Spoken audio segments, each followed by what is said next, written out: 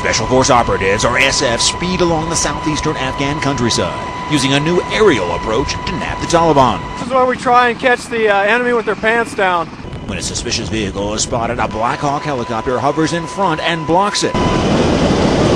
Second lands behind, and out comes a team of heavily armed Green Berets and Afghans. SF is well trained for fast assaults, guerrilla maneuvers, and fitting in and fighting with the locals. They also have a lot of assets at their disposal. Three more helicopters circle overhead.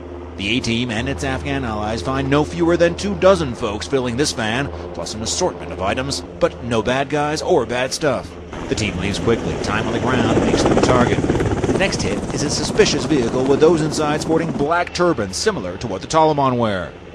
And here, Afghans on motorcycles, prime getaway mode for IED planters are the target.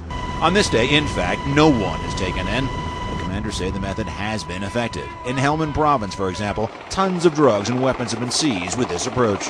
With this type of operation, really successful. Vehicle helicopter interdiction is new to this area, but it's already getting results. Commanders here say when the Taliban hears these choppers come, they don't like it at all. With Special Forces in Zabul, Afghanistan, Greg Palkot, Fox News.